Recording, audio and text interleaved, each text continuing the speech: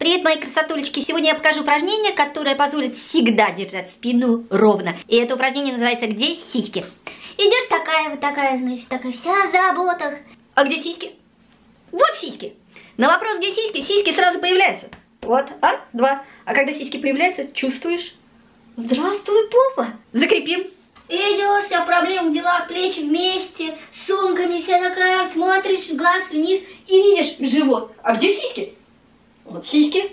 Здравствуй, попа. Сразу сиськи видишь, попу чувствуешь, осадочка сразу. Ну как, действует это упражнение? Это спина, это соединение между сиськами и попой. Это нить, которая держит их между собой. И когда вы гордитесь сиськами и гордитесь своей попой, то и спина гордится вами. Всем пока, танки, ёшки, сиськам и попе привет!